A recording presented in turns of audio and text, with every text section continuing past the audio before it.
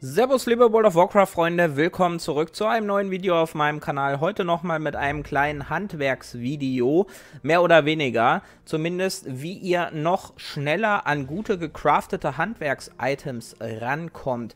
Ich hatte unter der Woche ja ein Video gemacht, dass ihr beim Kill von Rasageth, beziehungsweise mit der nötigen Quest von Alex Strasa, die bekommt ihr oben auf dem Sitz der Aspekte, wie ihr darüber ähm, einen Funken bekommen könnt. Bei und das Ding knallt letzten Endes, egal was ihr euch herstellen lassen wollt.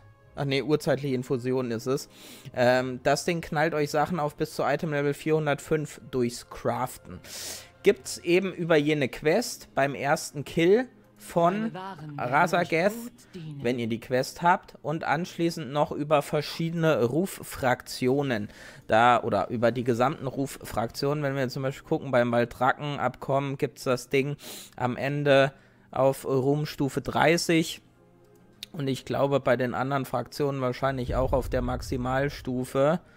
Ja, so sieht es nämlich aus. Also das dauert ein bisschen, vor allem wenn ihr das Rufhaben so konsequent ignoriert wie ich. Aber nichtsdestotrotz gibt es noch weitere Möglichkeiten, an diese Urinfusion ranzukommen. Egal, ob ihr raidet oder ob ihr Mythisch Plus macht. Bei PvP bin ich ehrlich, ich möchte jetzt nichts Falsches erzählen.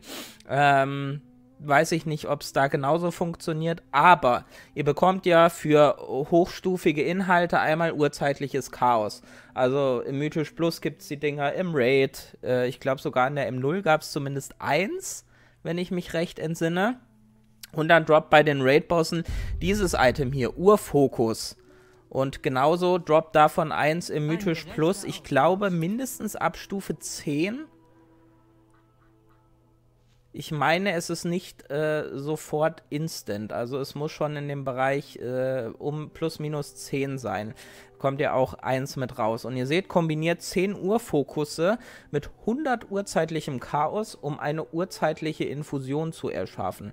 Und da ich in den letzten Tagen relativ viel Mythisch Plus gelaufen bin und wir auch im Raid ziemlich gut unterwegs waren, ähm, äh, ging es relativ easy da mir eine zweite urzeitliche Infusion zu machen, wodurch ich mir mein nächstes Item habe craften lassen, dann Gürtel auf 402, hatte jetzt leider niemanden an der Hand, der es auf 405 kann, erst ab Mittwoch und weiß die zwei Tage, dann lasse ich halt umcraften und fertig ist die Laube.